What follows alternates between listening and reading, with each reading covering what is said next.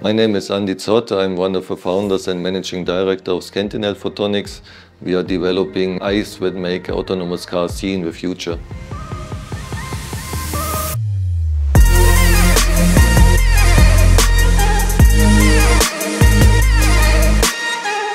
You see here is the world's first uh, silicon photonic integrated uh, scanning chip, which scans uh, 256 uh, laser beams across an object without any moving elements.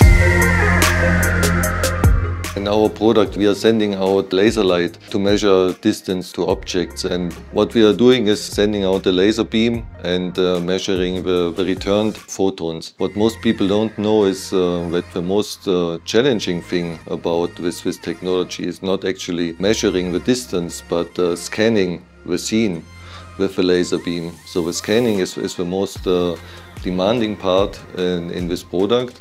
And that's also why our name is Scantinel, which comes from, from scanning, obviously. And that is the technology we focused on from, from the beginning in, uh, in our company.